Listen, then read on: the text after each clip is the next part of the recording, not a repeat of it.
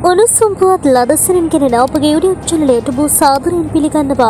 මෙන්න දැන් ලැබුණු තවත් උණුසුම් පුවතක් හිටපු හමුදාපති ශවෙන්ද්‍ර සිල්ව මහතා තවදුරටත් හමුදා මාඩලික ප්‍රධානීතුරේ රැඳී සිටීම සම්බන්ධයෙන් ප්‍රශ්නයක් ඇතැයි ශ්‍රී ලංකා පොදුජන පිරිමුණේ ප්‍රකාශකෙක් ජාතික පුවත්පතකට සඳහන් කර තිබේ. පහුගිය මේ මාසයේ නම වෙනිදා ඇති වූ සිදුවීම් සම්බන්ධයෙන් නිකුත් කළ කමිටු වාර්තාව මගින් අදාළ සිදුවීම වළක්වා ගැනීමට කටයුතු නොකළ බවට ශවෙන්ද්‍ර සිල්වා මහතාට චෝදනා එල්ල වී ඇතත් ඔහු තිබියදී ඔහු තවතුරටත් එම දුරේ රැඳී සිටින්නේද නැද්ද යන පිළිබඳව තීරණය කිරීමට විශේෂ සාකච්ඡාවක් පොදුජන පිරිමුණේ නියෝජිතයන් හා ජනාධිපතිවරයා අතර පැවැත්වීමට නියමිත බවද ඔහු සඳහන් කර ඇත.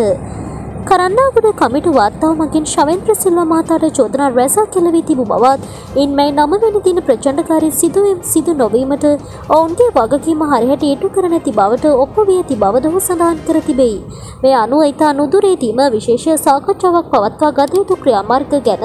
නිගමනයකට ඒමට ආණ්ඩුවේ ප්‍රධාන පක්ෂය ලෙස පොදුජන පෙරමුණ කටයුතු කරන බවද ඔහු තවදුරටත් පවසා ඇත. මෙවැනි උණුසුම් පුවත් ලදසරින් දැන ගැනීමට අපගේ YouTube චැනලය සබස්ක්‍රයිබ් කර බෙල් අයිකනේ ක්‍රියාත්මක කරන්න.